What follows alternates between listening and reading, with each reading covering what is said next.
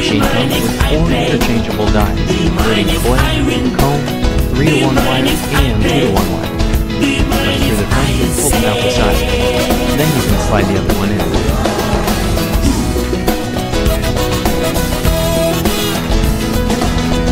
You can change the depth of the margin for larger or smaller bindings. Pull and push the small tab on the right to change it. Next, flip the switch to punch. Adjust the edge guide appropriately. Then do a test cut. You'll probably see one hole get cut off. To fix this, find the correct pin and pull it up to disengage.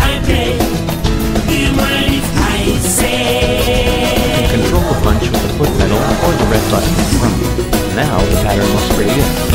Alright, now I'm going to continue to make a coil-bound book. And I will be showing you all the movements.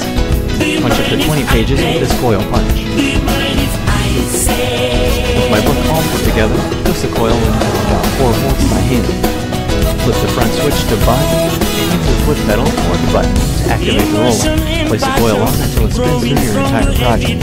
Now with the provided coil crimpers, cut off the extra coil.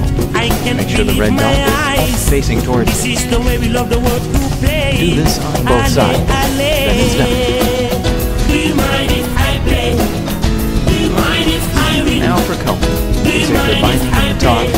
It up with the left lever. While you make the punches with the comb guide, thread your pages in face down. Close the binding and remove your finished product. For wire, insert the correct size wire in the front. Punch your covers and place them face to face, feeding them into the wire with the back cover on the bottom. Continue to punch and thread all your pages. On the right is a wire size adjuster for the clamp. Turn it to the correct side. Put wire in the clamp, open and down, inside, and pull the right lever all the way. Now flip the front cover back, and your book is back. If the wire is pressed unevenly, adjust the smaller knob to squeeze the fresh plate appropriately.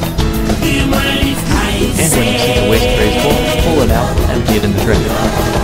That about covers the entire machine.